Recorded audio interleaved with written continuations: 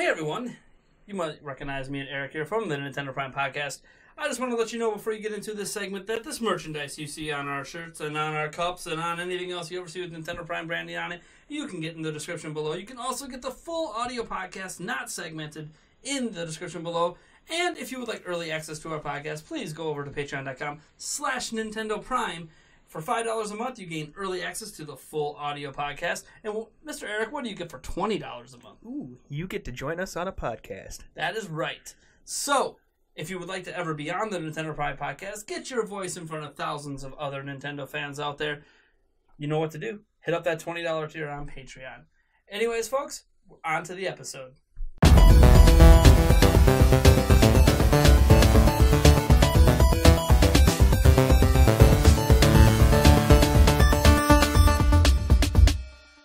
Hey everyone, welcome back to the Nintendo Prime Podcast, episode 36. And we have, again, some special guests. First, we're going to introduce Nathan from Stardive Studios. Uh, he's actually one of our Patreon backers of our $20 tier, which is really why he's on here. Interesting enough, I just realized today that you're a dev. Really? well, it's, not, it's not like I know. It's not like I went to this deep seated research with you in the past. No, it's all good. It's all good.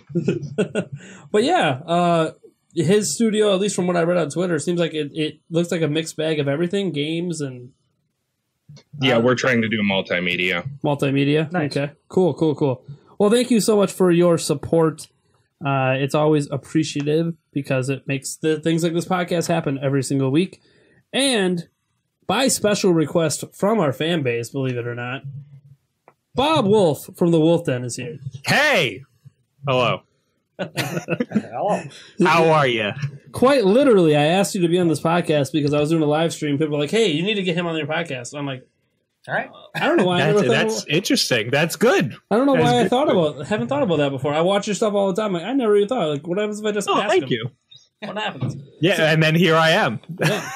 Things happen. I'm I'm glad we can make this work out. We all have busy lives, so Yeah, uh, I'm glad to be here. awesome. So we're just gonna right right into our first topic. We have three. I'm gonna say three point five topics because that fourth topic it turned into a whole bunch of stuff. Interesting things. Um, but uh, the first topic for this week, we're going to be talking about uh, Nintendo of America's policy change uh, that they did this past week with review copies of games in terms of games media.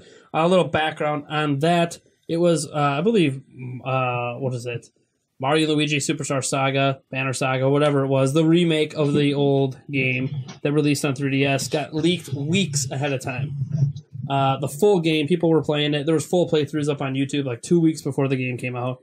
Uh, and Nintendo was able to find out that the leak itself came from a member of the media, specifically a video influencer. So when people say that, they're talking about YouTubers. Um, so someone, I'm, I'm assuming part of their brand ambassador program, leaked the game. Uh, and in response to that, Nintendo decided that, hey, you know what? We're just not going to give review copies out uh, to several outlets. At, at first, it was just like video influencers. They were going to cut out uh, them. And then they kind of extended it to almost all of games media. Now, some games media still get review copies and some don't. What makes it interesting is that uh, GameSpot got a review copy of Fire Emblem Warriors, but IGN did not. Really weird. Uh, and it, in terms of YouTubers, maybe one of the, the may, arguably the biggest Nintendo YouTube channel out there, GameXplain. They did not actually get a review copy of the game either. Their copy came from a friend they have in the media in the UK, so it is a UK copy of the game. So the, they were still able to do coverage, uh, albeit they couldn't do coverage till this week because again they didn't get their own review copy. Uh, so that's just a little background on that. Now some outlets, uh, Game Over Jesse actually just told me today that he is going to get a review copy of the game, but he's getting it on day of release. And this kind of goes into something that was reported that Nintendo in their policy has changed it to a tiered system. And it's really interesting when they say in their policy they changed it to a tiered system because I've been getting review copies from Nintendo back in the day when I worked at Zelda Informer, and they were using a tiered system then. So I don't actually think that's new. Uh, maybe it's new for YouTubers. What, what, what is the tiered system? So how the tiered system works is essentially they have three batches that they send games out in. So you want to be in tier one because tier one's like you get the game two three weeks ahead of time. Um, and then there's tier two, they get it about a week out, and then tier three is day of release or after. Um, and then if you're any tier after that, you're just not getting the game. Because usually it's like whoever leftover copies we have. If we have one left over, we'll give it to you. Um, and all of this is handled by Golin Harris, which is their their PR company. Um, Well, you know what they say, everything old is new again. So that, that definitely could be, you know, people haven't heard about the tiered system. Yeah, that's in a what I think it is. So all of a sudden it's new again. Well, the, the tier system, like when I, d- d- you know, I, I've actually been in different tiers over the years at Zelda Informer. We, uh, I guess we never really talked about it publicly because it's not really something you talk about publicly. Like, you know, you don't want to be one of those, I, I guess, one of those assholes out there that's like, hey, uh, so I only got my review copy the day before the game came out. Like, like we're going to Right. complain about getting a free copy of the game Right, or right. something. Yeah. Um, so it's not like it's something you really talk about. But when it gets this extreme, to the point that IGN can't even get a copy of the game, uh, even though they're not the source of the leak, is uh, this is intense. Like this, N- Nintendo of America, and this is only Nintendo of America, by the way. If you're Nintendo of Europe or UK, Australia, Japan, you are not under this policy. This is just Nintendo America, which is obviously because it's the source of the leak. And it should be noted that 3DS games have been leaking pretty much since the release of the 3DS. Uh, I, I know uh, some people should know about this one. The big game that leaked last year was Pokemon Sun and Moon. I think it was actually just Pokemon Moon specifically that leaked. Um, so I remember everyone said, "Oh, you should go download this ROM." I'm like, "No," because that means a media member dumped it, and like that's not good. No. That's gonna hurt us. I was surprised something didn't happen back then because that like Pokemon's a lot bigger than a, a remake of a game they released on DS or Game Boy Advance, Right. I think it was. Um, Right, right. so that kind of goes over over the history. Um, I'm not going to cover exactly my history with NDAs yet. I just want to first get your guys' thoughts on this whole fiasco. I mean, do you, have you guys ever gotten review copies before of anything, or what are your thoughts? Personally? I have I have never gotten anything from Nintendo. Okay. I just signed for up for their uh, for their program. Uh, I think I sent them an email at the end of September. Still haven't heard back from them. So this doesn't look good for me. but yeah, I didn't hear about this actually until I watched your video on it.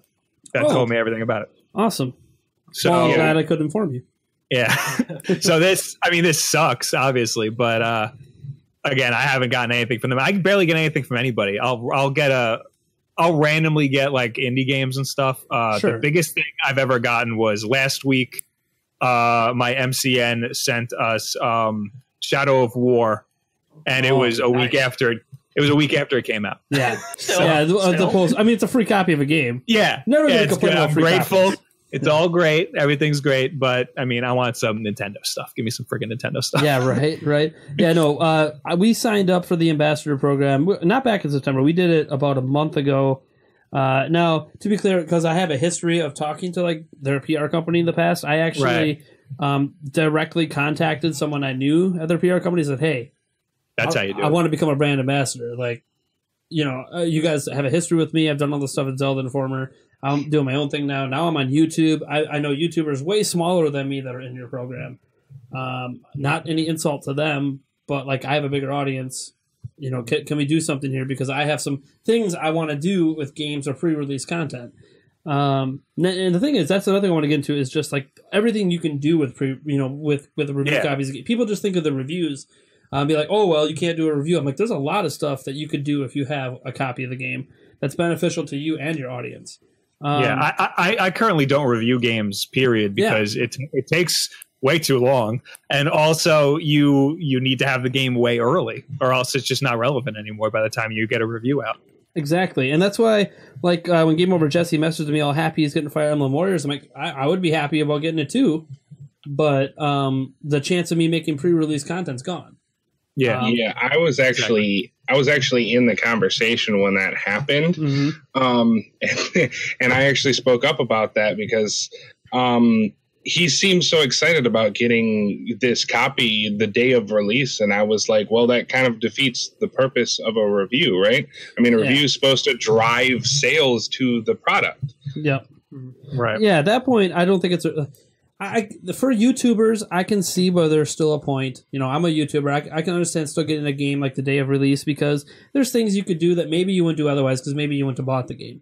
So if you weren't going to buy Fire Emblem Warriors and suddenly they gave it to you, now maybe you'll do a day one live stream.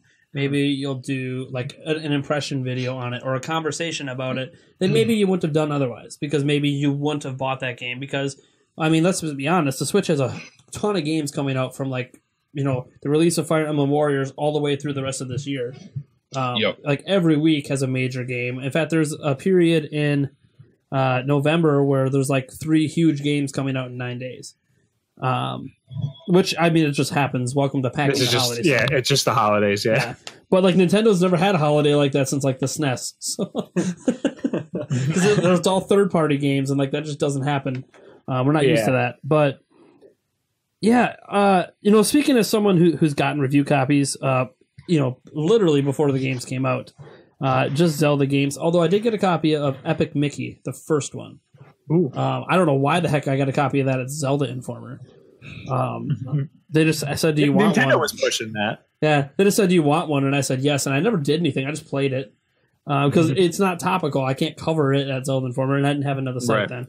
But so when I've gotten Nintendo stuff in the past, uh, the ambassadors program has its own thing too. Like once you get in, like you have to sign like this agreement, um, and then each individual game has its own NDA, which is a non-disclosure agreement, um, and it basically gives you a list of rules. Obviously, like the number one rule is don't leak a game. Right. I mean, that, that should just go without saying. But Oops. um, and eh, there's other little rules in that, like they'll say they'll, they'll give you the date. Like your preview can go up at this time, your review can go up at this time. Uh, in your preview, you can only talk up to this part of the game. Um, in your review, you can pretty much talk about anything you want, but like it'll say like you can't talk about like the final level or the final boss.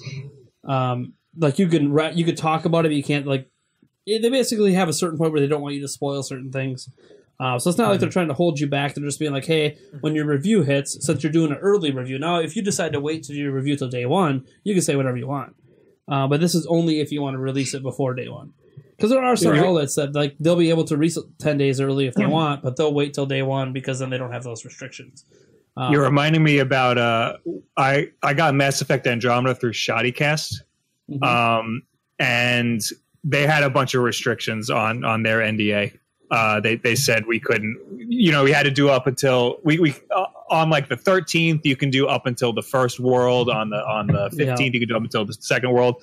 But then about a week before the game came out, all that stuff started to come out about all the bad animations. uh-huh. So they so they emailed everybody. They're like, all NDAs lifted. Put whatever you want up. They went into like like uh, disaster So, mode. someone's gonna have something positive to override. the yeah, and that didn't help. Panic mode. Whoops. That happens. Did not Nintendo work. usually doesn't panic like that in terms of like if, if something leaks and gets out, it is what it is. They, they make you. Well, they usually don't have a they usually don't have a big PR problem. yeah, like big PR issue. Um, like uh, other things like I, I've experienced in NDAs, like you can live stream two hours of total content uh, before X day. Uh, you can you can't live stream again like past a certain point, or like they'll say in your live stream if you could please cut out cut scenes, please do it. And it's a live stream. as thought, I always thought it was really weird that like when I don't know when the cutscenes are coming, how Yeah. much? And it's a live stream. I mean, I can cut out the game feed, I guess, but Yeah. I, I'm I'm playing the game. like it's a really weird thing to, to like. I don't I don't know. It's called live. I think that was back when Nintendo Nintendo's been a lot better. I've heard recently, but I think that was back when they didn't understand YouTube very well or live streams. Um, like no, you just need to say, hey, look, you can't go. Like for Mario Odyssey, like you can't go to this world, right? You can only do New Yeah. Donk City or something. Do do we know what the Mario Odyssey like NDA is so no, far? we do not. We have no People idea. just got theirs today, I think. yeah, some people did. Yep. Um, not very many, but some. That first Yeah. that first tier. Hopefully, I mean, I, I hate saying this because I don't really don't care about IGN that much, but hopefully, like the biggest gaming site in the world got Mario Odyssey. They didn't get Yeah. Fire Emblem, so I, I don't know. Um, but yeah, th- that's just those kind of restrictions. I always thought the weirdest restrictions were like you could show thirty seconds of footage, um, or like you could show six minutes of total footage in thirty second segments.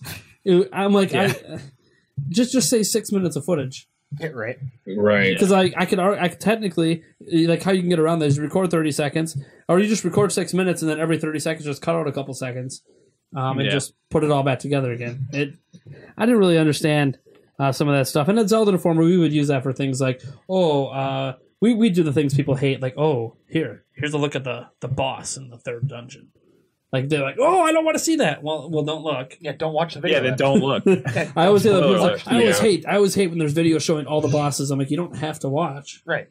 Some people aren't going to get the game and don't care. Some people don't care anyways. Like in Mario, spoiler: Bowser's the final boss. Wait, what? yeah. Damn it! I get a lot of I get a lot of crap because one of my thumbnails has Supersonic in it from Sonic Mania. Like that hasn't been around for like over twenty years. Yeah, right. Right. That's not even. What, what are you spoiling? exactly. C- c- Congrats! You just discovered a version of Sonic that's been around for most of my life. Awesome. Yeah. Um, so NDAs are just really weird in that the Nintendo's at least. I haven't seen other companies because like the Epic Mickey one, there was hardly any restrictions. You could basically show everything but like the final stage and do whatever you want. And I'm like, that's awesome. Too bad I run a Zelda website. oh right. and I actually like the first Epic Mickey. The the second one, not so much. But um, I wish Nintendo Prime was a thing back then. I would have been awesome. But so, so let's discuss like some of the things um, that we like. If if we had, you know, obviously. Bob over there, you do have a YouTube channel. Let's say Eric had a YouTube channel, and or even like we ran like big video game media site media sites.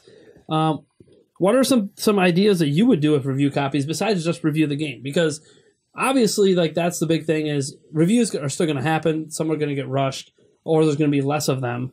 Um, but what are other ways that you think, just like people not getting review copies, how does that affect like pre-release coverage? I, I typically I don't review games, but typically what I do is I, I pick an angle, like why is it good or why is it bad, or if there's a certain mechanic that sticks out, like is Mario rolling down the hill? Uh, uh, does it break the game? I don't know, something stupid like that. Sure. Um, I guess in, in the case of Mario Odyssey, you can do uh, how many different types of things can you turn into? Can you capture in the game? You know, stuff like that, or, or like an overview of a specific world. Uh, Game Explained does a lot of that stuff. I think. Yep, they do. That that's why they they got themselves hooked up with Fire Emblem Warriors from the UK because it's like the first time they haven't gotten a game in a long time. Yeah, Um, and that's their that's their shtick. That's an interesting angle on that too, because you know, showing off the longevity of the game is one of the things that I was going to say. Um, you know, really showing how you can get your money's worth.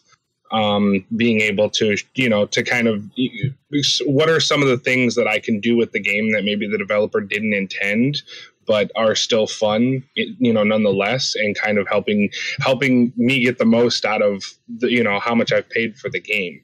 Um, so I think also, you know, he had a you know a great point as to being able to you know g- get more value out of the game than maybe the developers even intended to put in there in the first place. Yeah, I mean, I think back to like Breath of the Wild. Um, a lot of the pre-release coverage we saw back then. Now, some people argued it was too much, but uh, a lot of the too much was from Nintendo themselves. I'd argue um, they themselves kind of went overboard. But uh, what you saw from media, at least what I saw, because I was covering it back then at Zelda Informer still, it was um it was just a lot of like, look at this really cool thing you can do with the physics engine that you didn't know. Yeah. about. Um, Yeah. And that's the kind of like so how many people like when E3 happened back in 2016 got sold on the game the minute someone catapulted themselves up in the air. Right. Yeah. Like it's just wait, you can do that? Yeah. Why would you want to do that? Then you're like, oh wait, you could you could take out your bow up there and start sniping. Yeah. Like what? Um, this is where I feel like it hurts the most. I don't actually think it hurts so much in the review aspect, although I understand for outlets that really, really like. I'm an outlet that relies on reviews. We, we've reviewed one game ever at Nintendo Prime, um, so I'm someone that relies on reviews, and I don't do a lot of pre-release coverage of games because I don't get them. But like when we went, to, I went to E3 a couple years ago, and when I, whenever I do get a chance to go hands on with the game, I've discovered that a lot of our viewers and a lot of I think gaming fans in general, they just want to see wh- wh- whoever they follow, whatever outlet it is, they want to see their perspective on their experience with a game that those people don't get to play yet. Uh, people are always looking for information. And information doesn't always have to come in the form of a final verdict. It, it can come in the form of just showing off cool things you can do in the world. Or if it First is, impressions. I mean, yeah, if it is broken, showing that. Yeah. Um, you know, just like when uh, a bunch of the back back when I remember Assassin's Creed Unity came out and all the PC bugs. Um, it's important to see that stuff before people spend sixty dollars on their game.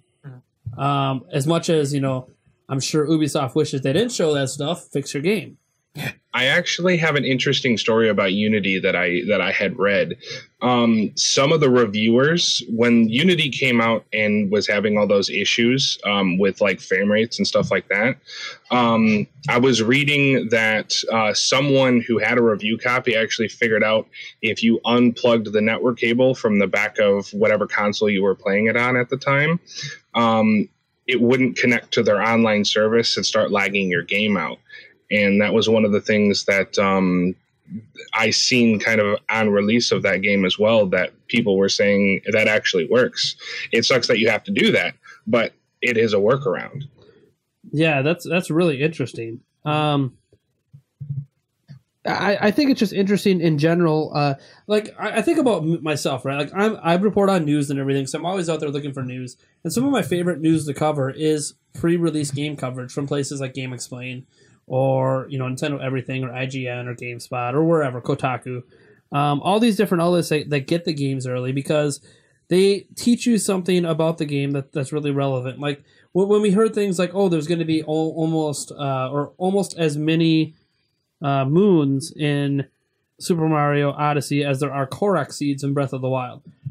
What does that tell you? I, there's just a crap load of moons. Yeah. Um, Yeah. But it, it's a really interesting fact when people might be worried about, hey, the levels look simple. Maybe there's not enough things to collect. Well, the, okay, there's like 900 things to collect. Right. This is Um, a game of collection. It- it- all this pre-release coverage does is if if you are confident in how good your game is, it's going to help you sell your game even without a review. Um, Right. even like with with the two hour live stream, the two hour live stream could be huge because you're going to get a ton of people turning in to see a game directly streamed uh, that they haven't seen or, or can't play themselves, and it's someone besides Nintendo playing it. Because when Nintendo plays it, you know, eh, or, or any developer plays it, you figure, oh, it could be canned, it could be you know pre-scripted. Um, you know, are they actually playing it? Um, and in some cases, you could tell. I, I think with the Treehouse during E3, it's really shown that yeah, they're playing it because some of them aren't very good at games. but that's okay. I mean, they're translators. They're not necessarily there to be good at games. Um, Right. I'm not one of those people that think, oh, you got to get good or you can't talk about games. Like, yeah, get out of here. Get out of here with that stuff. Um, but like, outside, I will say it was a little that that Cuphead guy, That was that was insane. That and the Doom. I think that was like Oh. a year ago. the Doom. yeah, I'm, I'm like, it's one They were thing. both Like, Polygon, right? uh, no, the the Cuphead guy was Wall Street Journal. Actually, it was the Takahashi guy that's Oh. always reporting on all the Nintendo financial stuff from their meetings. No wonder Wall Street Journal hates YouTubers. we just ripped him apart after that. oh, I better watch out now. They're gonna start coming after this video. nah, we're small enough. They won't come after us. We're not. We're not PewDiePie over here. Yeah, no. Um, oh man, but yeah, it's it's just really interesting. I think that's what that's what hurts me, even as just a consumer. I like getting all this information, um, and that's one way I actually wanted to expand my channel. When I applied for the ambassador program, I did it knowing that uh, I wanted to do game reviews. Um, or at least have like a conversation.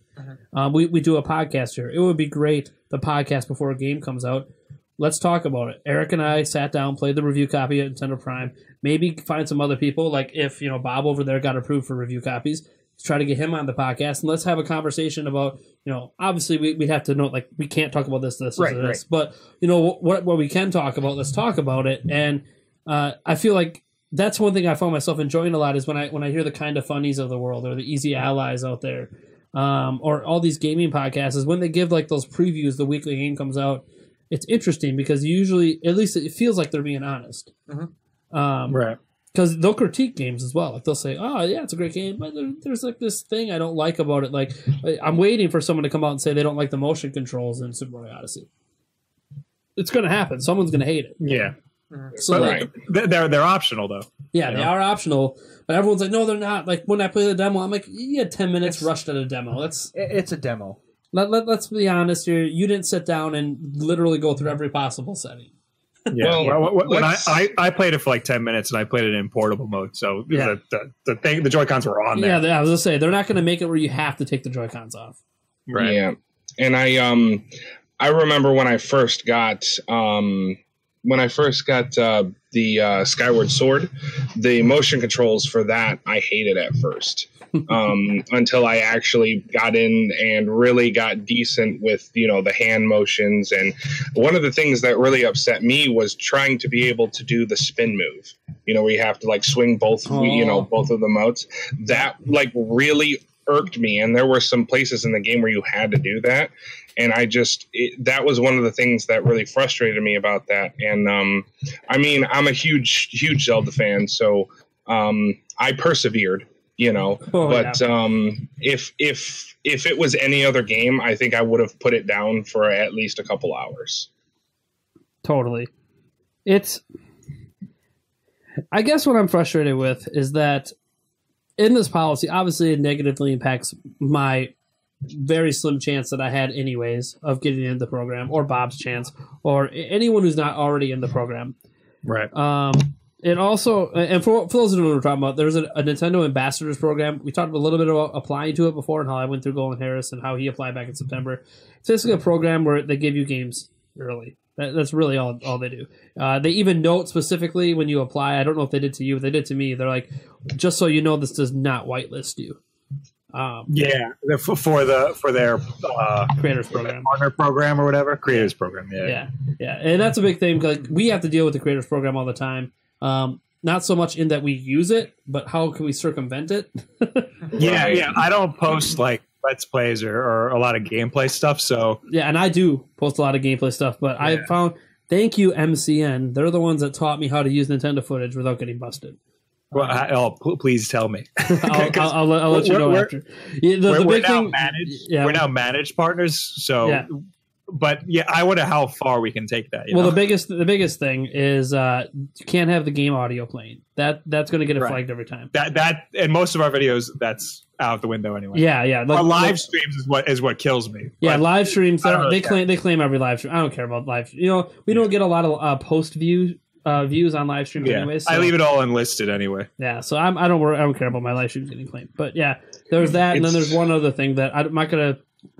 Some people out there, oh, tell me, I want to do it. I want to do it. I'm like, eh, I want to be careful because I, I, I just applied for the ambassador. That's a good idea. I don't want to let Nintendo know all the tricks that we're using. I only really got got nabbed once when uh, I, I it was it was a commercial. It, it, was, it was from the trailer of uh, Mario Maker 3DS. For some reason that got flagged, Oh, I can I can tell you this. You and it was absolutely just the video footage. It Yeah. wasn't even you absolutely cannot use trailers. Can't touch them.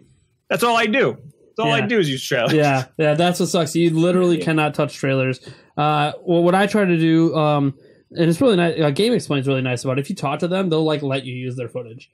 Um, and it sucks because like when you're talking about trailers, because you talk about a lot of trailers, um, Yeah. it really sucks not being able to show a Nintendo trailer without getting claimed. Oh, it sucks. It's a, that's my number one gripe, and I even told that in a complaint I sent to Golin Harris, their PR company last year. I was like, hey, you know, I don't care if you want to claim gameplay and everything, but like, really, your trailers, yeah. The trailer. Come on, man. Like not even movies do that. like, come, Yeah. like, come on. The, if people are showing your trailer, it's helping you Right. immensely. Right. Uh, that that always bothered me because that's the reason I can't show trailers because I'm like, oh, like, oh, I I- want to talk about this new trailer. Well, I could talk about what's in the trailer. I could show you screenshots Well, can- from the You trailer. know, I can understand, Hmm. you know, not making, not being able to make money off of it, but not being able to show it. Period. Or well, it's usually Yeah. the money. They'll usually let you keep the video up. yeah, Um, but what what sucks about it is, like, say, like Bob, like he, they'll show, you know, say they show like a 10 second clip. Mhm. Their like hour long live stream or video gone. ah, for, yes. for monetization. And that's always been the argument with them. It's not so much eh, the argument is basically fair use. You know what's Right. what's fair use and what's not fair use. right. Um, and showing like a clip of a trailer with no audio, so you're not you're not using any copyrighted music or sound effects, um, and you're just like literally discussing the trailer. If you put it on any other platform but YouTube, you're fine. Literally, you can put it anywhere else, and Nintendo doesn't care. But only on YouTube, and the only reason they care on YouTube is because there's an automated system to claim it. So Nintendo doesn't have to do any work, basically. Yeah, It's I can bot. actually, it's just a bot um, that does it. I can actually give you some insight as into why the whole audio thing. It's uh, as someone who knows how to write artificial intelligence, um, it's much easier to match audio than it is video, Mhm. especially on the processing side. I mean, think about how many how many things that the bot actually has to go through Mhm. per day. You know Yeah. what I mean? Mhm. and to match all of that video with OpenCV and trying to match pixels, you know, when some of these videos go up to, you know, 4K and, you know, 60 frames per second, that's a lot of video to try and match. Mhm. So that's really the big thing on that is it's it's easier to to um to match audio. Yeah, and, that's one of the big things my MCN told me. Even when I'm using like game footage I record, like the audio, the audio, the audio. There's nothing you can do about it. Even if it's just like Link going, "Hey, yeah," they're gonna, you're done. Um, Right. Yeah. but that's fine because a lot of my videos are are, vo- are either me on camera talking or uh, you know voiceover video or you know I'm on camera then I cut then I cut away to some gameplay but I'm still talking so it's not a big deal to me. Um, it sucks Right. like when I want to be like oh I want to talk about this game's music. If you guys ever wonder why I don't get to talk about Nintendo's music, it's because I feel like if you're going to talk about the music, I should let you be able to listen to some of it, Right. and I can't. I can give you a fan remix version, but it's not the music I'm talking about. so You, Can you put could do like links down in three the- second clips. No, they they claim No, it, not like- even that? No, it's like Damn. instant. Yeah, it's bad, and it's just as bad with the trailer footage. I don't know how they pull it off with the trailer footage because uh, I remember last year when Angry Joe went on his huge rant about Nintendo claiming a, claiming a video. He was trying to cover something from the Nintendo Direct. It was like a reaction video or something, and he Yeah. took he took the Nintendo Direct, he inversed it, he blurred it, he made it black Oh, and I white remember this. and he like shrunk it down and like he did all this stuff to it where basically if you just look at the video there's no way you can that that like a nintendo person looked at it would even know at glance is- that it's nintendo direct footage. Like it he was um ew, but it, it- no matter what he did to it it kept getting claimed. Yeah, he even flipped it upside down. yeah. But I can I can tell you how that works too. Um, it's easier if you have a subset of something specific that you're looking for because I mean Yep. um, a trailer is a trailer is something very specific. It's something it's a whole, it's a set of images basically that you know that turn into a video, and the way that that happens is is they're only looking for that subset of of images, Sure. whereas a game is vast and huge and you could go anywhere you could be doing anything at any one point in time Mhm. and it's hard to match that but Yeah. you can match a trailer real easily because it's it's something very specific yeah and the thing is i don't have now that i know some of the tricks to use like gameplay footage my issue is no longer nintendo it's youtube yeah yeah YouTube. Like yesterday, we did six videos, which is insane. I never do six videos, ever. But um, I felt generous, I guess. Actually, I just I just got I kind of got on a roll. Sometimes you get on a roll and you just get a bunch of content done, Uh, and some of it was news, so it wasn't like oh I could just wait to, to talk about this tomorrow. Um, no, so you, get all the videos out, and then everything's going good. I'm actually getting some good views on this stuff. Um, wake up today, all six videos are demonetized, Damn. and I can That's- go request. I'm like, really, really, literally every time they've done this to my channel, and I request a manual review, they approve it. They have not demonetized one video and kept it demonetized. I thought that bot thing they used to do that is supposed to learn.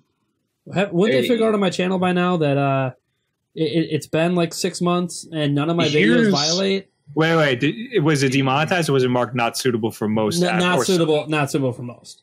Yeah, we got hit with that like two weeks ago, or no, like a month ago. Every one of our videos that we upload would, would get hit with that.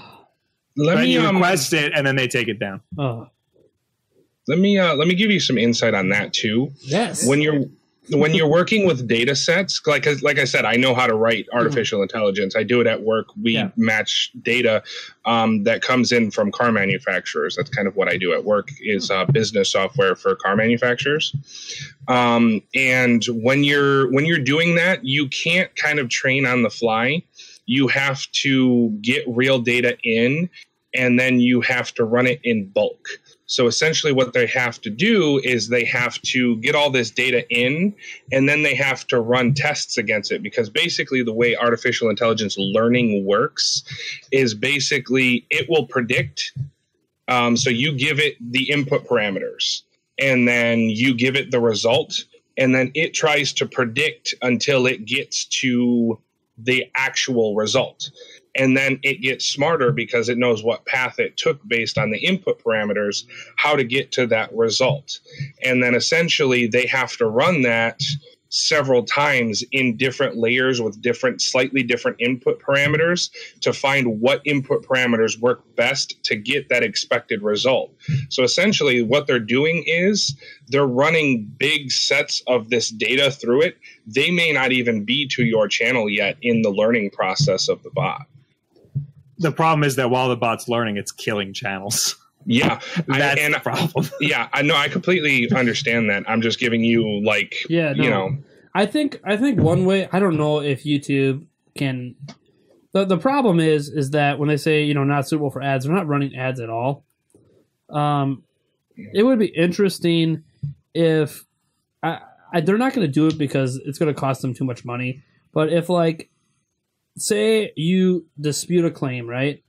And you win, Mhm. and that video's got, you know, 10,000, 12,000 views or whatever that never got monetized or only got YouTube red money.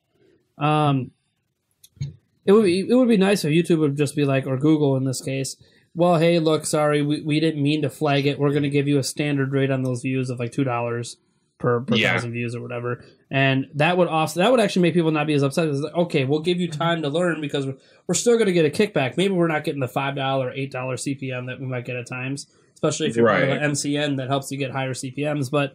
It, it's still they're at least getting something back. You're not just losing basically a majority of your revenue Mhm. on, on Yeah, that, that, video. that, that money's got to come from somewhere, though. Yeah, that's what I'm You saying. know? what sucks is because they don't actually run any ads at all. Yeah. Um, that's what kind of sucks about it Well- is I'm kind of surprised that you know they don't run the ads and then kind of you know use some of that money as back pay type Well, of thing. it's tough because the whole reason they started this is because ad Yeah. companies were going to pull out Ah, of YouTube, yeah. and the, Yeah, there was like that's the six major yeah. ad companies were, were going to pull out, um, and YouTube's like, whoa, whoa, whoa, wait, wait, wait, wait. So this was like a knee jerk reaction, Mhm. um, and I think that's what sucks about this AI. And even as you were explaining, it, I'm like, that's all fine. I think if they would have planned to create this AI over the last couple of years, instead of having to rush it out the door, um, it, they might be better as well. And and I know, like, I don't think the data sets are personally. I don't think their data sets are ever going to learn by individual channels because um, there's too many channels. yeah, they may. It may not even be programmed to do that. I It- mean, it's going to do it based on like w- trigger words in the title, trigger Yeah. words in the tags, trigger words in the description. Because that's what I've heard. Like a lot of people, a lot of times it's the the words. It is. and- Yes. and it you know because they're trying not they don't want ads on anything that's uh no, i'm not gonna say they don't want ads on drama but they don't want ads on like political drama um they don't want ads on uh, any sort of Yeah. tragedy thing they don't want ads on anything that sounds like you're family try- friendly. You got to be family. you gotta, you gotta be pretty close to family friendly the, you don't have to be entirely but you gotta be pretty close you, you know like there are people that swear and get ads but Yeah, i think right. the people that swear and get ads are getting it through their mcn uh, yeah. who like because like I- I'm part of BBTV. Like they straight up told me and was like, "Hey, look, you know, like we sell ads too." So like, just even Oh, if. YouTube's not Oh, yeah. monetizing your stuff, we But, might like- be monetizing your stuff. So yeah, but but they do it through YouTube. Yeah, they like do when do they're it selling YouTube. an ad, they do it through YouTube, and a lot of times, Yeah. I, I hate MCNs. I absolutely hate them, but because they'll say that they'll say that they're selling ads for you, Yep. and they're not. They, they'll say maybe we're, we'll, Yeah, we'll sell maybe, some ads. maybe. They, they, Yeah. they leave it like really open ended because they don't do it for you. They do it for the PewDiePies and and, and Yeah, uh, yeah. Casey Neistats, yeah, you know, or they or they try to sell them in bulk. Yeah. So it's I I I got a lot of opinions on all. Oh yeah, no, I understand. Like for me, the only thing that's nice is since I joined the MCN, my CPM, like my average CPM, has gone up. That happened to me. The but only reason I'm not making more money is because more of my videos get claimed. right. That happened to me, Ugh. but I don't know if it's necessarily the the MCN. Yeah, I it's, know, right? It's probably more likely that it's just Right. the time of the year where the CPM goes Could- up. It could, it could be. Yeah, it, there's so many factors. But my MCN made me a managed partner. That's like the best. Yeah, that's nice. could happen. That that is nice. So Um, it there's just a lot of things that go into what, what's happening with uh, with Nintendo America's policies and the ability of YouTubers to make money. And a lot of you out there, you know, I've even seen replies to this, you know, on that video I made where people are like, "Well, who, who cares? Be like everyone else and just buy your games." I do. Mhm. We, we've Yeah, never been- we've I never uh, ever gotten a review copy at Nintendo Prime. Yeah, So like I've been on this YouTube for four years. I've been buying games. I'm like I'm not. I, I've been buying games for 30 years of my life. I, I yeah, it's not like this is new to me. Okay, I've spent probably more money on video games than than I care to admit. Yep. and and like I I'm looking at the um you know the itinerary here and and I know we're going to talk about this a little bit later but I'm going to I'm going to kind of bring this up a little bit. I mean a lot of games generally release in bulks at, you know during certain times of the year. Yep. Um and it, it, it that's a lot of money to drop all at once it is. Yep. you know and you you you mm-hmm. can't expect to cover everything unless you're you know doing some side business that's making you you know massive amounts of money or Yeah. your day job is making massive amounts of money i mean i make pretty good money and I mean, there's a lot of things on this list that you know I plan on picking up, but I'm not going to be able to pick up at launch. Yeah. it, it, it's it's less about the money for me and more about the time. Like I'm not going to have the too. time to play and, Yeah. and and talk about every single Yeah, one of these see- things that's coming out. Yeah, that that that's why I actually want review copies because it affords me time. Yeah, Um, when you get copies like two, three weeks ahead of time, and like like I said, we got three games for Nintendo Switch coming out that are AAA games in a, a three day span next month. And granted, Nintendo doesn't handle the distribution of that, so I could technically contact those people and try to get a copy. Um, I don't know how recipient of that. Maybe they will be because they want to sell it on Switch. I don't know, but even then, you, you get weeks with it instead of three games, nine days. Cover Yep. it all. yeah, Yeah. Whereas if I had three games but had three weeks, it's different. I could spend a week with each game, uh, get acclimated, make sure the conversations are worthwhile. Because what, what I, I think what a lot of fans when when they when they say things like that, you know, like you know, buy the games yourself or you know, get a real Yeah. job or, or this or that. it- It's one of those things we, where some people just have this illusion that everything in life is free. Mhm. Um, and that our time is free, and and I, I Yeah. hate that attitude. Like like uh, we have a stretch goal for on our Patreon to do game reviews, and uh, some people are like, oh, I don't, I don't agree with having uh, reviews held behind that. You should just do it for free, do it for that. I'm like, the one review we did, the reason I didn't continue to do reviews after it is it took me 150 hours to make that review. Yeah, It's like, that's it. Pe- people only see the end product; they don't see all the work that went into it. yeah, they're like, well, I, yeah, well, I spent 150 video, hours. Uh, I spent 150 hours playing the game. I'm like, that's great. I, I might have spent 150 hours playing that game too over the course of the next year. Yeah, you know, There's that you crush it into like a week, but also you know all of the time you spent actually making the freaking video. Yeah, like Yeah. don't don't include all the editing, especially since you have to do editing sometimes to get around you know Nintendo. Uh, they don't include the script writing, the the various takes you had to do. Uh, you know, maybe some proof editing. You may have had another editor look at to make sure there were no mistakes. It, a, a lot a lot of people see this like YouTubing and they say, "Oh my god, it's so easy. I don't understand why you people want so much money." If it's so easy, then go do it. Then Mhm. start it yourself. Yeah, I, I mean that's what I tell them. Soon learn. Yeah, they will because I've had a lot of people come up to me uh, and they're like, "Man, I, I make content I think is better than yours. Why do you get viewers and I don't?" I'm like, "Well, I mean, everyone thinks their content is great, or Yeah. at least a lot of people do." Um, and I'm like, I, I can't tell you specifically why you don't get viewers because I'd have to go through this whole analysis Right. of what you're doing, and I, I'm I'm like, I, I don't have time for that. I, I barely can keep up Yeah. with my own stuff. Um, a, a lot of people also don't want to change what they're doing No, to, yeah. to, to meet like the the a, a wider audience or something. yeah, if, if you changing the tell them times. people aren't watching this because uh, you're covering an old game or something, they'll Mhm. go, "Oh, but I want that's my thing." Okay, well, your thing's not going to work. I'm sorry. Right. Yeah, Can I can I kind of give you the perspective of outside looking in as someone who who Absolutely. has done YouTube videos but like not really attempted to go too big? yep, Um, from the outside looking in, it, it's exactly as he says. Um, it's they see the end product. And a lot of people look at that and go, well, I can make a video. And then they make a video and they put it out on YouTube and then they're wondering why it's not getting any hits. And that's all they've done. They haven't advertised it on Facebook or they haven't advertised it on Google Plus or through Twitter. You know, they're not going out there and trying to bring people in from external sources. They're just expecting that they put it out there with the title of Legend of Zelda Breath of the Wild and they expect that people are going to find it and watch it and enjoy it. And I mean, maybe their content is legitimately good. Mhm. Without the extra work, you're not going to get the views. Yeah, and there's the things to consider like keywords and tags in your description. Uh, you know, there's the social media outreach. There's a this is the nice thing about YouTube, and, and this is why I actually, while I was surprised that Bob over there was willing to get on the podcast, it was only as a surprise because we had never talked before. Um, that that's because you know, but but this is the nice thing about YouTube is we're all willing to like work together.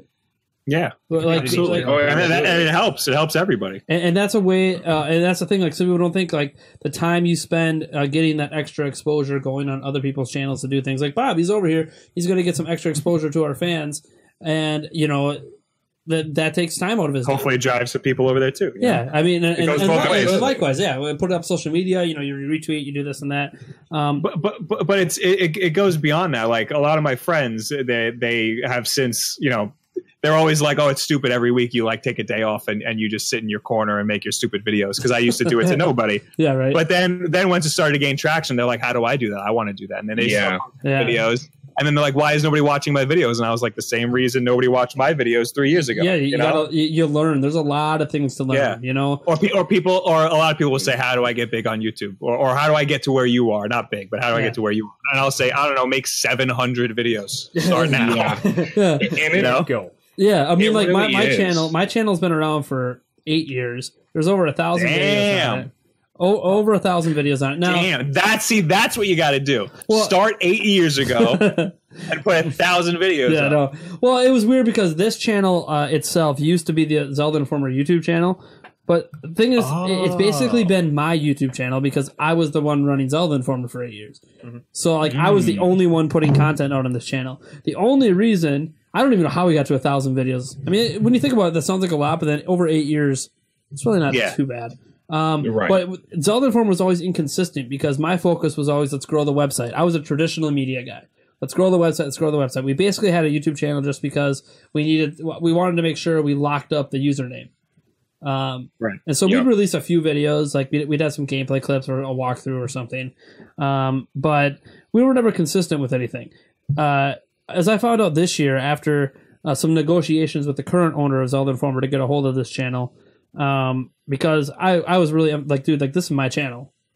I built this over eight years.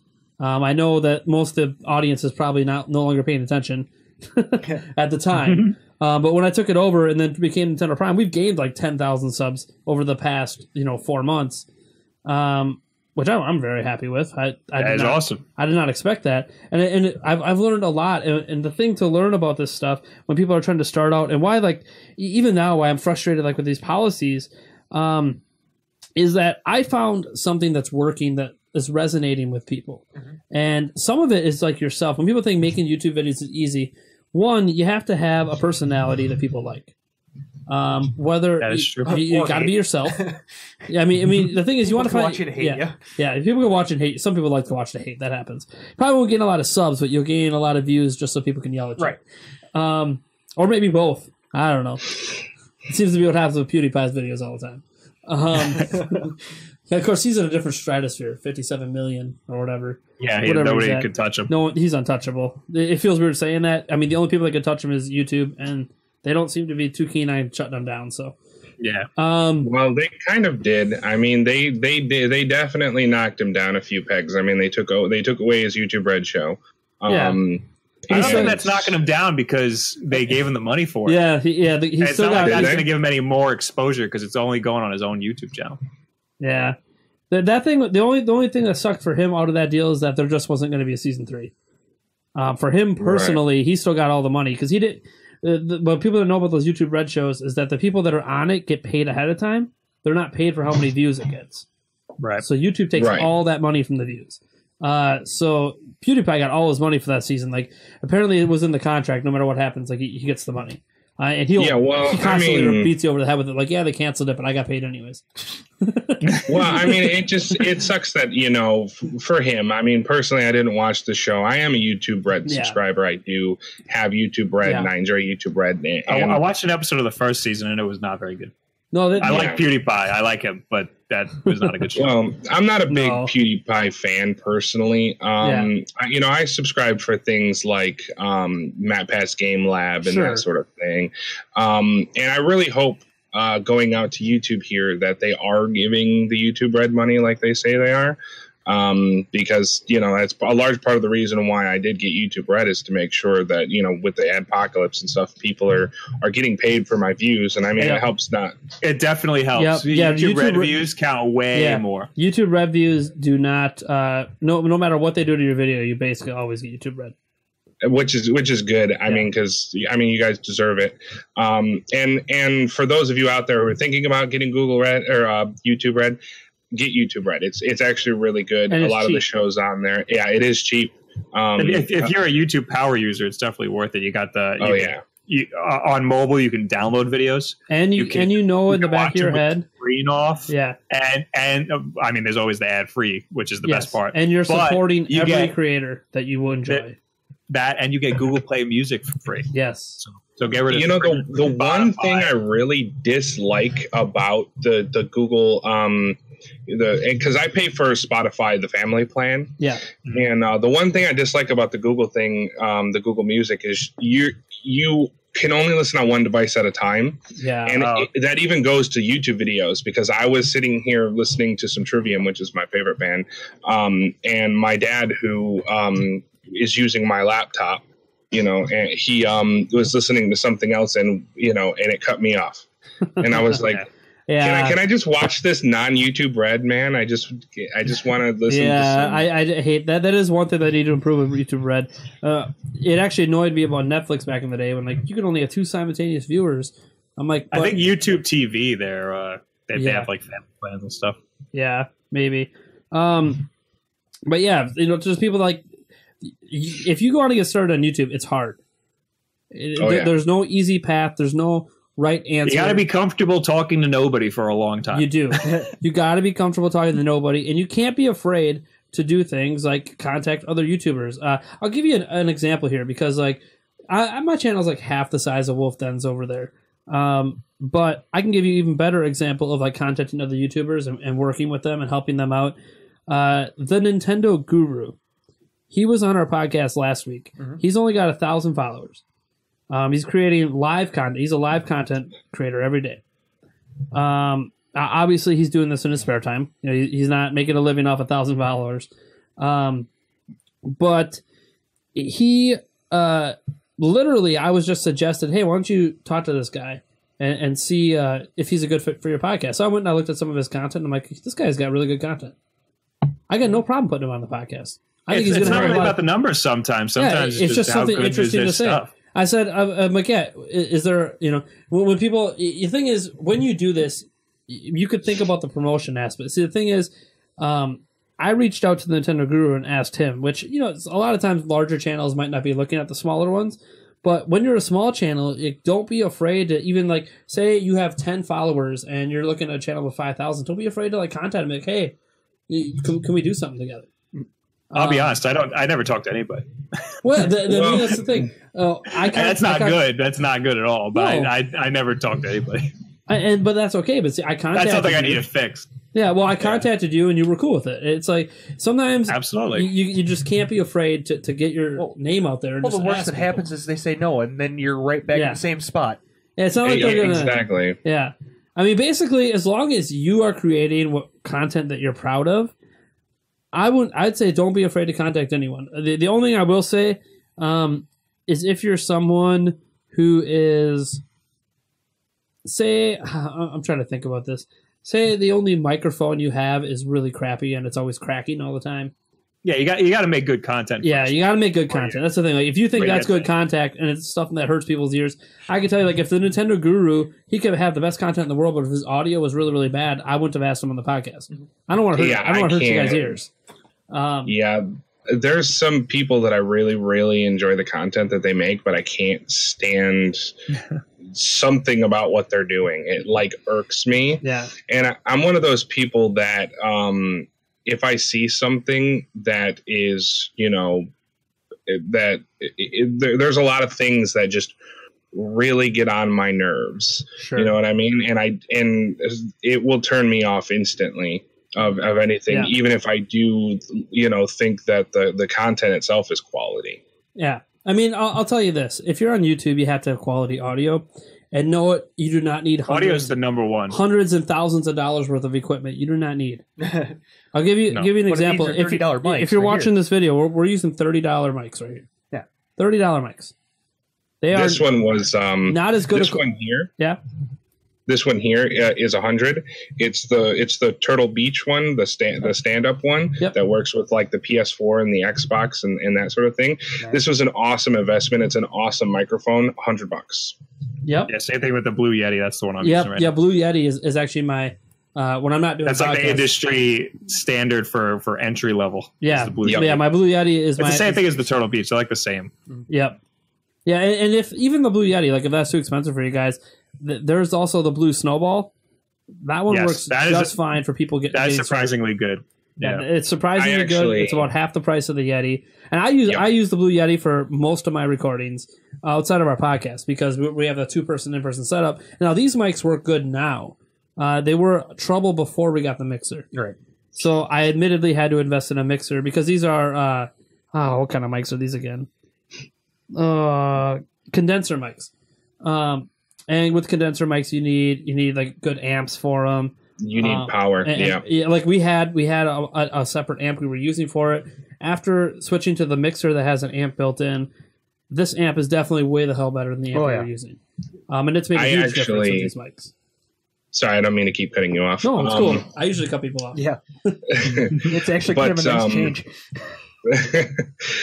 um, I actually was in a in a live band for a while. I didn't make it very far. I mean, it was for fun anyway. But uh, we had some we had some live gear, um, and we had an SM58 that uh, that I had because I was the singer at the time, and um, that thing gave me so much trouble until I found out that you need to power it. It has like this Yes. internal stuff in the actual microphone that does compression, noise gating, all Yeah. this kind of stuff, and it needs power. You have to have an external device that can actually push power into it. Yep. Yeah. So Phantom power. yeah, F- Phantom Power. Yeah. If you got, if you're a small YouTuber out there, all I can say the biggest thing is just making sure you do invest in some sort of microphone setup. Do your research beforehand, or just grab one of those USB Blue Snowballs, Blue Yetis, um, and a pop filter for them. And Yep. you- you're pretty much going to be set for what you're going to need. I mean, you can download Audacity, free audio program, if you're looking for something Oh. like that. Or if you have a camera, the Rode, uh, the Rode Video Mic Yeah. Pro is, Yes. is good. Or th- there's a video mic. Uh, what's it called? There's a there's a video mic that that's a lav mic that plugs into your phone. Yes. and it's Mhm. surprisingly really Yeah, I can't remember which one that was. I think I know which one you're talking about because I was actually looking at it for uh, when I'm on the go. good. It is Um, it is a phenomenal lav mic. Yeah. Huh. And I Um, recommend it. Up. yeah. I mean, and here's the thing: like, uh, even this video, like you're watching this video version of the podcast. Eric and I here, like, this is just our cell phone recording the footage. Yeah. Um, So, there's nothing wrong with that. As long as the works. lighting is good. No. As long as the lighting's yeah, good. Yeah, the lighting's good. Like Yeah. we, that's the thing. I No. the, got the green screen, got lights. Like obviously, I- there's some investment in the setup I have now, but I didn't get all this right away, right? Like when I, I mean, honestly, when I- it takes money to make money. Yeah. Yeah. Well, here's the thing. When I was first making content on our channel, we had our podcast. I think it was originally audio only before we tried to add the video aspect in. Um, we did that after E3, I think, once because we did a live stream for E3. Remember, 2 Mhm. years ago. Yep. Um, or last, yeah, no, it's about a year and a half ago now. Uh, and that's when we said, "Hey, look, people really like the video thing. Let's see if we Yeah. can do more with that." And I'll just use my because that time we used the webcam, the C920, and I'm like, "Let's see if we can do better quality with the phone." And turns out, oh yeah, the phone quality is way better. It just you got to get past the uh, whole 30, 30 minute video. Well, that's only on this. That wasn't a Yeah. problem at the iPhone doesn't Yeah. have that issue. Yeah. But I don't Yeah. have an iPhone anymore, so Right. that's a Samsung thing. Um. Anyways, so I you use you turn a- use what you have. No, I'm just saying use what you have. Um, and don't be afraid to invest, but invest smartly. Like I have, you know, what four different studio lights now. Um, I actually need to get a new stand for my phone because the phone stand I have, the actual thing that holds it, is cracked, and now I can't nice. always get it to stand. Like, even now, you look at it; it's technically slightly crooked because it's cracked, and I Oh. can't fix it. N- Now, way to go! Now people are now people with Uh, OCD are going to be. Uh, it's okay. No, in, in editing, he actually slightly moves it. Oh, okay. He slightly adjusts Okay. it. So you, guys can't tell, but I know, and it makes it hard in editing. It sucks. Uh, it's not that hard, but it, it, it still makes it harder. Um, But that's the thing. Like, I know my next big investment, I'm getting a camera. Mhm. I like an actual camera. You know, I don't know if I'm going to go DSLR or what I'm going to do yet, but um, because you know the last investment was the mixer to improve the audio. Mhm. Because as I tell people, when you're on YouTube, audio is audio is number one. Mhm. Make sure that Yep. audio is crisp. Because when I started doing uh, daily videos, uh, when we switched the channel to Nintendo Prime, I, I was literally audio over still images. The like most basic thing you can do. Mhm. audio here's Yeah. some still some rotating screenshots and still images of whatever i'm talking about. I mean, the big thing now is audio over gameplay, yeah. And just just completely irrelevant gameplay. yeah. Oh, and, and again that that ta- that takes you know uh some some setup. Like if you want to do relevant gameplay like i try to do relevant gameplay it's hard as a Nintendo YouTuber, but if you're trying to use relevant gameplay, you know you're gonna have to own the console. You're gonna have to buy the games. You're gonna have to buy a capture card, a computer that can handle all that. Uh, the uh, the irrelevant gameplay is because people don't want to invest like that. Um, they'll just use whatever game they own on Steam, record it, and throw their audio over it, uh, which is fine. Whatever you have, make use of what you have before you invest. It's like me. Uh, You always want to, as long as you have an okay microphone to start out with, go from that. Like I was doing that in still images. To a month later, I made enough money to, to be like, okay, now let's bump it up to capture card, and because I already own the system, of course, I'm a fan, right? I'm a fan of Nintendo. So let's get a capture card and let's start capturing footage of the games I have and using that. Start doing voiceover or gameplay that way, and then let's. Well, you know, I why are we just doing video for podcasts? Why can't I? It's a- put myself it's a on slow camera? progression. Yeah, Yeah. yeah. You, You also got to know. You also got to know why you need something. You also So like yeah, you, can, you can have a. YouTube starter kit, but like, why are you using these lights instead of just using your house lights? Why are you getting a mic? right. You know, Well, it's just like earlier. You know, you guys don't ever see this, but before we start every podcast, I have to spend like 10 minutes fiddling around with the mixer because I'm mixing all of our audio together. And mm-hmm. I'm a noob at this stuff, right?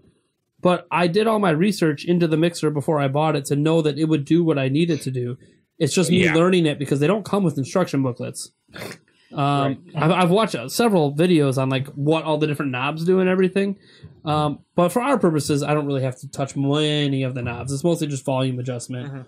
Um, I don't add any extra bass to people's voices or anything. Not yet. Make sure we don't have any yet. echoes. Not yet. And then, I mean, the next up upgrade for that is getting some sound effects in there. yeah. but but that's uh, that's again that's an upgrade to me. That's not as essential as getting an actual camera. Mhm. Um, and like progress. Don't just jump into things.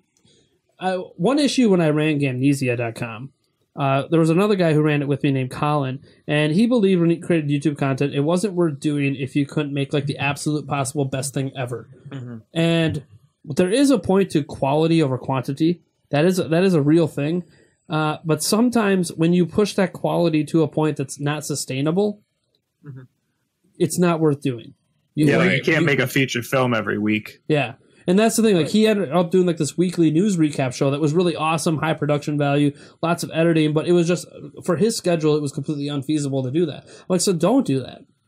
You you can cut it back. You can lower the production value. You need to find that happy medium that you're able to do, and then only increase things as you can justify increasing them. Maybe you got to pay raise at work. Maybe you Yeah. are making money off YouTube now, and you can Right. reinvest that money. and and that's the thing too is is you start out small and then people you, your channel just grows with you and hope I mean you know at least that's the hope anyways Yeah. and you know people will eventually see your stuff getting better and hopefully then start spreading the word that hey this guy is actually starting to get good you know his content's good it may not be the best quality but it's it has been you know getting better over time so I'm expecting it to eventually get to you know here versus where Right. it is now Yeah. Like Uh, I, have I a- mean- like I have always have a whiteboard in my office that's like, here's where I'm heading. Here's what's Oh, coming yeah. up next. Here's where I want to start improving things. Like I'm already thinking. I- I've been thinking for the last month or so. Okay, I got to think about a camera, and I've been doing a little bit of research into cameras because when you look for research, every YouTuber will tell you a different camera they use. Um, so like doing the research into that, doing the research into the audio equipment I had to do. Uh, the thing is, it, it feels weird say, telling you all this because I technically had a head start. A lot of you guys did. I was working at Zelda Informer, and I took my final checks Yeah. I got working there and invested into Nintendo Prime. Now everyone always has that, like, oh, I have a couple thousand dollars, let me invest it. Um, I could do that. Like, the, my primary investment was the computer I'm using um, to edit with, which. Uh, when I was editing, I mean, I still have that laptop down there, the busted one. Uh, editing on that thing was a pain, and it like a ten minute video with ga- just gameplay would take like three hours to render at 720p. Um, but it is what it is. Yep. I I realized that I didn't want to waste that time. I needed something better, so I invested in a computer. When I could have got a camera, I could have got the audio equipment, but what's it matter if I can't get the content out in time? Mhm. Um, Yeah. Yep. that that's the way I looked at it. So like when you're looking at this YouTube, anyone when when people say, "Oh, I can make that," you're right. You can make a YouTube video. You can report on the news I just did. Um, you can do whatever. But I, as I always tell people, like when you think it's so easy, one, you're you're not me. So your opinions and what you have to say on things, like even this podcast, we all have different opinions. Um, so we like, also did. They also didn't build an audience. Yeah, that's the most exactly. exactly. Is Um, going through all that crap first before you get to the easy stuff, Yeah. the quote unquote easy stuff. And this is what Yep. upsets me actually about, um, you know, if you look at this original topic about that that policy change, is that Let's bring it all back. yeah, just bring, I'm just bringing it right back because because this all started by, by talking about you know, people say oh just go buy the games or just go do this like people complaining about oh why why are you complaining about this because when you're looking uh, when you're a YouTube creator and like to me this policy change doesn't affect me today at all but it affects my my growth plan on where I was looking to get Your goals. Yeah. Yeah. So, like, like that, that's the thing. When, when you start out on YouTube, you have where you start and where you want to be. And, and some people be like, "Oh, well, we don't care where you." That's fine. You don't care where you're going to go. That's fine. You're, you're going to make your videos when you have time, and that's what that is totally fine. I don't care about money. Yeah, it- yeah. That's the thing. Like, it'll like, like I put six videos out. You know, yesterday. I mean, you should about- you shouldn't try to get rich, but yeah, you know, no, no, yeah. Don't look money at it. is, money sure is nice though. yeah yeah it is uh it, it's it's just it's tough because that that policy change and it, it impacting me sucks because i'm a nintendo youtube channel i'm not the Wulff Den i'm not uh even GameXplain who doesn't uh, even though they only do nintendo content they're not named after nintendo right Right. they could shift they could slowly shift their content if they want to and probably still retain you know a good chunk of their audience and build a new audience for something else or Yeah, launch this a whole new affects channel. you the most. like i am literally nintendo's in my name which that's my fault i understand i'm not i take full responsibility for not just naming my channel after myself or whatever like a lot of people do and then i can do whatever i want i could have movie reviews like i was a lot new star wars movie coming out i'd love to talk about that it's not Yeah. relevant to our channel um, watched Yeah. your guys' conversation on the trailer that was awesome um, Oh, thank you. even though that stream was all busted up. Oh, it was all it was a big mess. but even like the the stuff that performs well on our channel is the Nintendo stuff because people like associate us with that now. But you know, I I want to I don't want to be pigeonholed. Yeah, and, and I'm okay being pigeonholed, obviously. Um, my my Right. for me, it almost Well, you're all in. You're, Yeah. you're you know, I- I'm that's all in. good. I'm all in, That- and it- I you spent you kind of have to pick a niche sometimes. yeah, I spent 18 years covering Zelda games. Um, you at least run your horizon there. well, that's what I'm saying. That's when it's like, oh, when I did Nintendo Prime at the time when I when I invested and did everything into it, I was like, well, this already feels like I lifted everything because I get to talk about more than Zelda finally. But now as Yeah. I'm doing this, it's like, oh, there's some other things I'd like to talk about. But that's the thing. Um, I know I, I've said this in the past. Uh, I'm going to start a second channel someday. It's going to happen. Um, I'm a big tech enthusiast. Yeah. I'm, I'm a big, you know, comics. I, I like movies. There's all these things, other things I want to talk about aren't Nintendo. But the big thing when you're running like a Nintendo thing and you get like a policy like this that majorly impacts you, um, it sucks because I'm not, I didn't want to be GameXplain, right? Like some people say, oh, you're not GameXplain. You're you're right. I'm not GameXplain. I want to be yeah, game I explained. yeah. I'm Nintendo Prime. I, I got no interest in that. Like, do you ever see those guys on camera? No, Uh, that's not what they are. They're voiceover over gameplay and live streams. And, Right. yeah, I mean, that's what they do. They preview games, they show you games, and it's great. That's awesome. That's what they do. Do I have have ideas that were crossed over with some of that? Sure, because I wanted to preview some games too. But I wanted to bring to you, I wanted to bring the discussion to you. I wanted to Mhm. bring people together to talk about this stuff. Like, oh, Wulff Den got to play the demo of Super Mario Odyssey. Well, it'd be cool if I if I played it and uh, you know, if Nathan over there played it and if Eric played it, we could all have a conversation about the demo. But we haven't all played Right. it, at least because I know I haven't played it. And I'm sure I haven't played it. Um, I have not played it. No. yeah, see, one, one for one for four.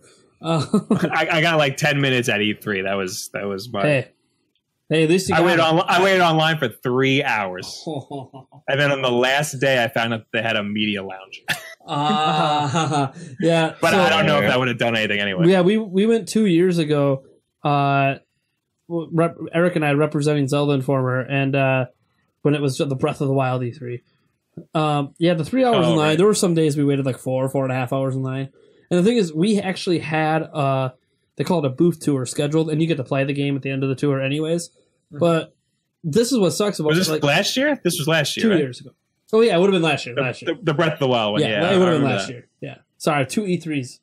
Because Um, I, I didn't wait online. I just did the booth tour. Yeah, well, it, it, it was awesome because it's just Zelda, um, and we're there for Zelda Informers. So, like, yeah, we have the boot tour, but of course we're going to keep playing the game over and over and over again because that's why we're there. Yeah, Um, yeah. Right. You, But you like- guys got you know And it was like the perfect E3 for that because that was the only Oh, yeah. game Nintendo had. Um, right. But it also, it's like, well, now that I'm Nintendo Prime, it's like, okay, yeah, I could schedule a boot tour, but am I going to get time with every game? Of course not. Not going to happen. Um, Do you mind if I uh, if I segue a little bit here Yeah. into um, this is something that I actually wanted to talk about to begin with. yeah, let's go Um, for it. it- um, this policy change actually affects me as well um, as a consumer because one of the big reasons that I got Breath of the Wild at launch and got a Switch at launch, um, I was actually going to wait. Um, even though myself and my wife are huge Legend of Zelda and Nintendo fans, um, I mean, I have Breath of the Wild. I got it at launch. Um, and um, I mean, everybody else was having a hard time getting it, but you know, we got lucky and we got a switch with uh, Breath of the Wild, you know, at launch day. Um, and literally, as my wife was walking out, uh, this lady almost mugged it for her grandson. Oh, jeez. Gotta love Um, consumers sometimes. Oh yeah, but uh, the reason that we decided to get it at launch was because we seen the review. You know, it's like some of the review copies and stuff like that. And and Breath of the Wild, the the content that Nintendo was pushing was like this game is going to be huge, and it Mhm. huge.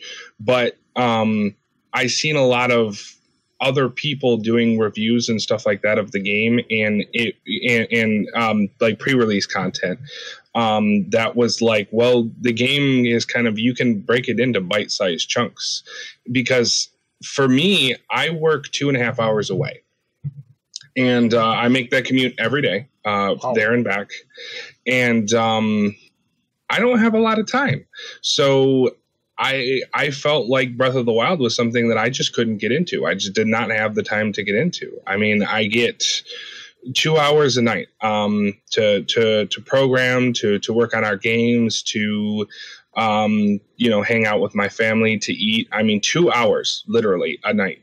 Um, if that most of the time, if I'm putting in overtime. So Breath of the Wild felt like it was way too big and unwieldy for someone with my you know with with my you know with my lifestyle and um but i was able to see people you know break it you know break break it up and, and really be able to focus and um i you know i got all the way through the game i mean i didn't 100% it of course but Mhm. you know on my schedule i managed to get through breath of the wild so Yeah, and that's the thing that I think people, uh, fans that, that that don't care about it. Here's the thing: there are the fans out there that are buying these games anyways, right? Um, all the fans that are going to buy Super Mario Odyssey anyways. Guess what? When I make that preview content, it's not for you. Um, right. You're, you're, you're- it's for people who are on the fence. Yeah, right. Because there are people on the fence. I, As Yeah. much as you might think, how could you be on the fence about this game? Because there's multiple reasons to be on the fence about games you might not I even mean- be thinking about. I know people Yeah. who, who were who were crapping all over the Switch until it came out, and then they all bought it, and now it's the best thing ever. Yeah. i mean those people who only bought it for Zelda, now now you have Super Mario Odyssey coming out. They might not know if they want it. I mean, believe it or not, um, if it wasn't for Nathaniel's um, review of Snipperclips, I wouldn't have bought that. Did I actually review that? I can't remember. I believe you did. I you I- talked I about did it. Tweet the at video. Nintendo that. Tell them it's because of this guy. Give him money. I did. I know I did a video on Snipperclips. You did something on it, and Yeah, I, I know, wasn't I- gonna I pick did- it up until you did. It was one of the first gameplay videos I had ever put up. Actually, I know Yeah. that there, there was of Snipperclips. Um, I can't remember. So maybe we've done two reviews. I have to go back and You- look. I don't. I remember the uh, video. I can't remember. If it was Yeah, I- Yeah, I don't. It might not have been a review, but I remember. I remember it was you specifically. Um, but me and my wife got lots of enjoyment out of that game. yeah. Um, oh, that was my and- experience with that. I wanted to share because I always thought Snipperclips was really cool, you know. But yeah. um, playing it with my girlfriend, fiance, That was the video. That was exactly It- the reason because you were playing it with your fiance. it fiance. was just a totally different experience. Yeah. oh, it was. Yeah. Oh, yeah. Uh, like I think I said something like it's the perfect date game. Yeah. You want to Oh, date it night with your yeah. girlfriend and play some games, even if she doesn't Absolutely. play games. Get her, give her, hand her one of those Joy Cons, play some Snipperclips. I'm telling, it's addicting. It's fun. It, the, the characters are goofy. Mhm. Um, and uh, yeah, I remember. I don't know if I did a review, but I remember I was so surprised because that was after Yeah. one night. We we literally we planned to play. Like I could hardly ever get her to play games with me. Uh, but I said, hey, look, I got this game on Switch. Um, it's kind of, I, I think you're gonna like it, and I think it's gonna be more fun in multiplayer because you can play it single player, but it's a Uh-huh. little difficult. Uh, so I said, Let, let's play it together to see if you like it. I know you kind of like puzzle games on your phone a little bit. Um, let's just play for a little bit before we go to bed. But we didn't go to bed for like four hours. Oh my god, yeah. I actually was so tired uh, at at work one day because me and my wife was we you know we're up playing uh, Snipperclips, but uh, yeah, I mean th- I, that's the kind of stuff that I'm talking about. Like Mhm. if I if it wasn't for Nathaniel talking about that game and and bringing it to me in a way that I could Relate to. exactly and appreciate. I wouldn't have purchased the game. I literally wouldn't have. that, that, that's that's why uh, review scores are not not indicative of how much you're going to enjoy the game. Yeah, I don't care about the review score. I at actually all. think that's why uh, YouTubers that do reviews have actually blown up so much um, in Yeah. comparison to 'Cause- traditional media because you have to watch the whole video, and even if they have a score, the score doesn't feel like it matters by the time you get to it. A lot of times you grow with somebody else's tastes too. Like Yeah. you'll know, like, oh, I, I, I know exactly what Nathaniel likes is what I also like. So if he likes this, Yeah. I'll probably like it too, or something like that. yeah. I, I mean, I have to temper that too because I like a lot of what Angry Joe likes, but like, um, Not everything. there's some no, no, actually, um, I mean, his his review of Skyrim, I would completely disagree with. Sure. I had a completely different experience with, Yep. um, you know, but a game that's you know a game like Breath of the Wild, he and I, you know, agreed on a lot of the points for for Breath of the Wild. Well, yeah, um, you know, the it's- Total War series, you know, it's I, I, would say it's more often than not, but still, I you still got to temper it, you know. Yeah, uh, the, there's no reviewer. uh, But put it this way: we're all individuals. Mhm. There's not a single reviewer out there, even if you've agreed with every review they've ever done, that uh, you're gonna end up agreeing with everything. Um, that's just not like with you. You said specifically it was how I described it in terms of playing Snipperclips Yep. uh, with my girlfriend. And so, like, you might not agree with everything I have to say, but if I'm going to talk in the future about another game I play with my girlfriend and my experience with it, that's something you might be able to connect with again, uh, because Exact- you know that you know that my experience in the past ended up translating to you in that way. Uh, but that's just in that specific thing. Like what I have to say about, say, Xenoblade Chronicles Two is going to have absolutely nothing to do with a game like Snipperclips. It's to- two to- completely different types of games.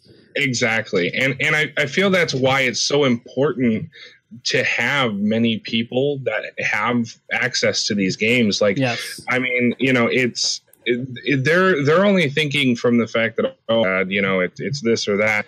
But um, you know, it, it's my coworker has this thing um, that he says all the time. Um, if you look at thing something from one way, um, always turn it upside down and see if it still works. Sure. That's an art thing. If, if, if you're drawing something, you mirror it and see if it still looks good. Yep. Absolutely. And um and I think that's a lot of a lot of the decision that went into this whole thing with the Nintendo of America, you know, kind of removing the whole uh, review copy thing, that hurts them in more ways than they than they realize because it, it like I said, if Nathaniel had not bought that Snipperclips and played it with his fiance, I would have never purchased it. Yeah, and you and you wonder, you know, how many other people, even with me or, or anyone, or even Bob over there, just talking about something. He doesn't review games, and, and like I said, maybe it wasn't a review, but I just talked about it. Mhm. Um, Yeah. and that and that, that's like the big thing I want to do. Not so much the reviews. I mean, I'll still do them if we hit that stretch goal. But what I want to do is is that conversation and sharing experiences, and that to me is what YouTubers really excel at over say a text form. Like you could still Absolutely. get traditional print media could still share experiences, but it comes through better when you can hear like the passion and the emotion in the voice, or see body language. Um, you tell if someone's actually just talking out their butt to get a paycheck, or if they're Right. actually mean what they're saying. Yeah. Well, Um, you know, it's not just that too. Is we we as a society will hold people up on a pedestal. So when you're seeing, you know, when you, when when I saw Jimmy Kimmel playing Breath of the Wild, that did nothing for me because I mean I could tell that he was legitimately um, excited about it, but exactly what level of excitement did he actually have? I don't know. What what part? You know, how much of that was put on? Yeah. Exactly. How much of that was an act and how much of that was, you know, was real.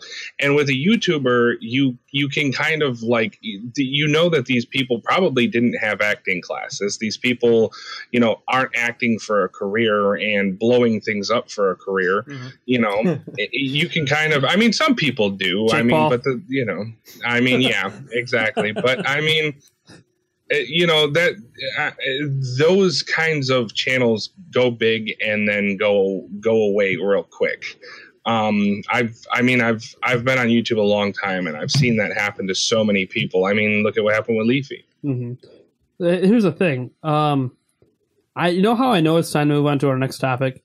Somehow, in the first topic about changing Edaway's pol- uh, policies, we've talked about PewDiePie. We've talked about Leafy now. Leafy just got Yeah. brought up. Um, and we Yep. and we talked about, or at least had a, a brief mention of Jake Paul. Who Um, else can we piss off? Who else? right Who else? That Jim Sterling guy, let me tell you. oh Yeah. man i love I jim love sterling him. Dude, his commentocracy videos are so funny. Oh Yeah. man, I love those, that stuff. And oh, God, every time i see a every time i see a, a jimquisition i'm just Oh. like oh man who is who is jim gonna piss off who's today? who's getting roasted today? Yeah. Um, Let's just hope this ban is temporary yeah, thing. I mean, So. as, as I said, this tier thing. When I heard about that, I'm like, I know they've done it in the past. Uh, just to give you one example before we move on, uh, we got Skyward Sword at uh, Zelda Informer three weeks early. Uh, technically, it ended up being two weeks early because the first copy got you know quote unquote lost in the mail. Uh, so the a- the air air mailed one us one after they realized, oh, you really didn't get the copy, did you? I'm like, no, I didn't. Um, but then we got uh, I can't remember. It, it was either Spirit, no Ocarina of Time 3D. Uh, we got one week early. Spirit Tracks we got like the same day it came out. So Right. that that I mean, literally, there's the tier system right there working. So they've had this around Yeah. for a while. Um, now, Yeah, how that and- applies to the ambassador program, I have no idea because I've never been in the ambassador program. But Right. And like I said, I mean, like I said at the beginning of this, everything that is old becomes new again at some point. yeah,